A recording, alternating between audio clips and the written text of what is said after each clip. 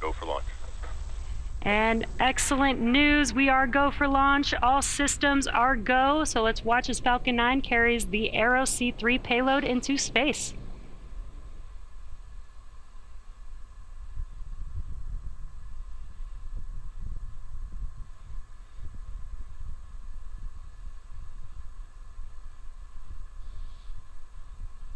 T minus 15 seconds.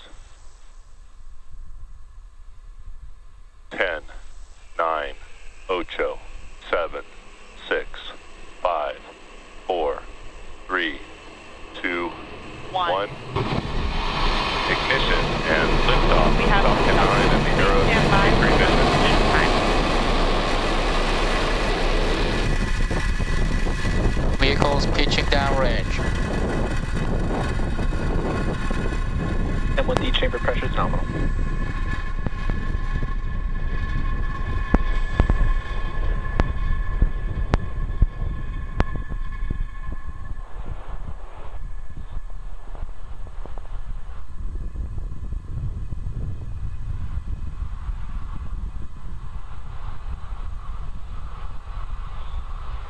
Falcon 9 has successfully lifted off from Vandenberg Space Force Base's Space Launch Complex 4 East, Nominal power and telemetry. carrying the Eros C3 payload. Now, during ascent, we do tilt the engines, which is called gimbaling, and that turns the rocket horizontally. Vehicle supersonic. and that's what we call a gravity turn.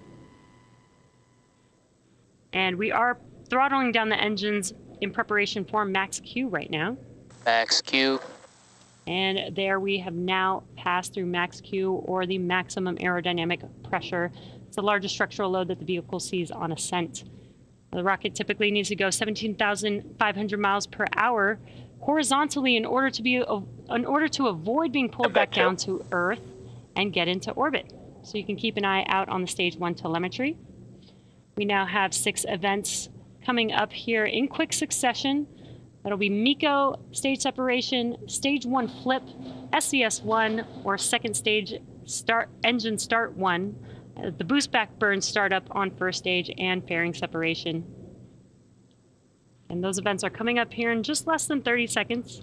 Again, that's MECO, our main engine cutoff, stage separation, stage one flip. That MVAC engine will start up on the second stage, and then we will have a boost back burn on the first stage, and then shortly followed by a fairing separation on the second stage.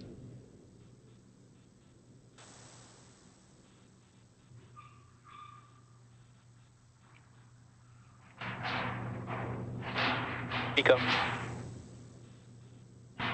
Stage separation confirmed.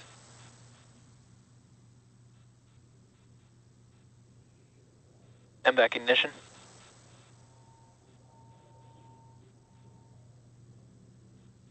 Stage 1 boost back startup.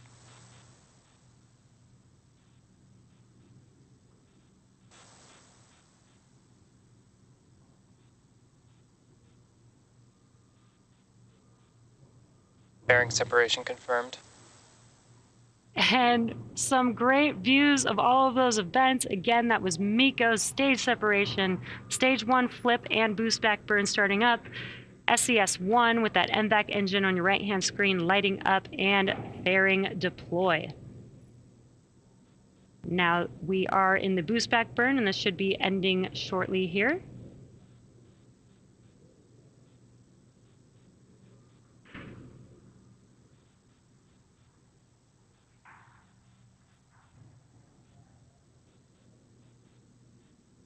And as you saw on your left hand screen, Stage 1 boost back shut down.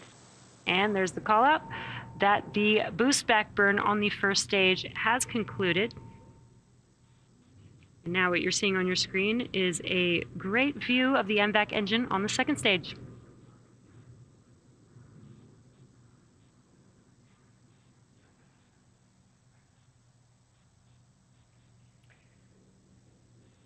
Now it is T plus four minutes into launch, and in order to complete today's land landing, the first stage has two more burns left.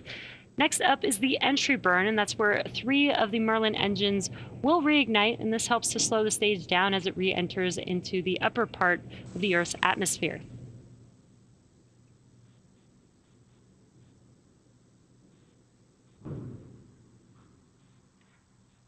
Now that entry burn, Vehicles on nominal trajectory. great callouts there. Both vehicles looking nominal. That entry burn that I mentioned is just about a couple minutes away from now for the first stage. Again, we are scheduled to land on land today, so the first stage is doing three burns. That is the boost back burn, entry burn, and then there is a landing burn for that vehicle. Now, the first stage does have four hypersonic grid fins that help steer the vehicle during descent.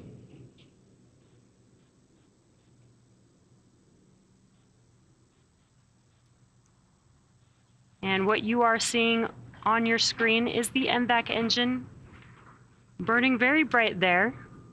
The MVAC engine is optimized for the vacuum of space and has about 220,000 pounds of thrust. Very powerful rocket there. We are just about a minute away from the first stage entry burn.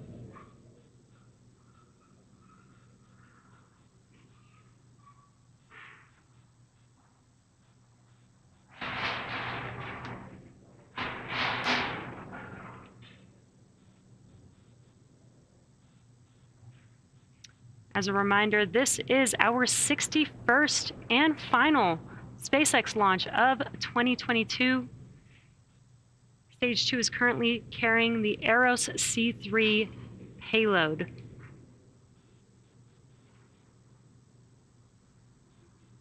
And we are coming up here on that entry burn on the first stage in just a few seconds. Again, that will be three of nine M1D engines reigniting. And there you can see it on your left-hand screen that those engines have ignited. Stage one entry burn startup.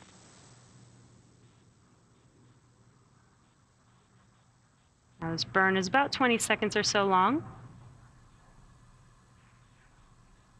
Stage one entry burn shutdown. Stage 1 FTS is saved. As you heard and saw on your left-hand screen, those engines have shut down. That concludes the entry burn for the first stage. Coming up next in less than a minute is the landing burn of that first stage. The first stage does have four landing legs stowed at the base of the vehicle, and they will deploy just seconds before touching down for landing. And that landing burn is about 30 seconds from now and will be just the center E9 engine. That one single engine has enough thrust to slow the vehicle down to touchdown for landing. Stage one transonic.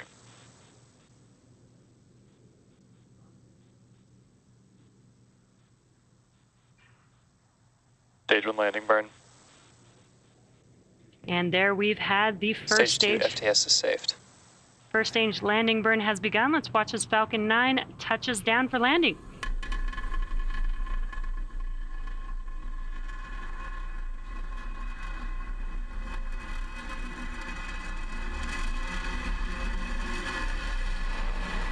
Landing leg deployed.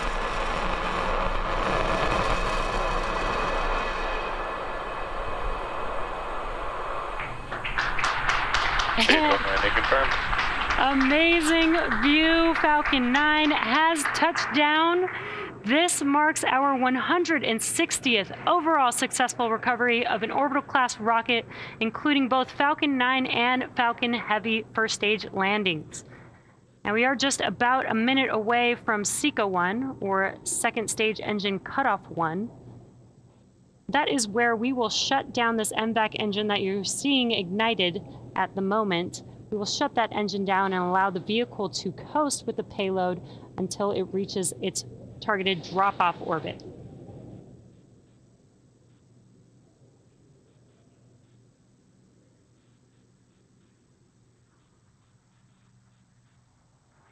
Now, just under a minute away from SECO 1 on second stage. As a reminder, the Eros C3 payload is still attached to Falcon 9 second stage.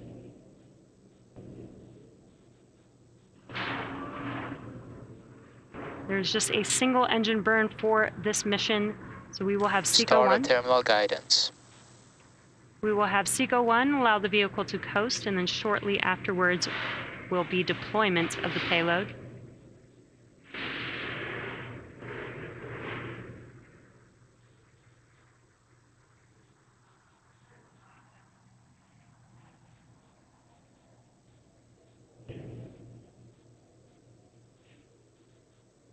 MVAC shutdown.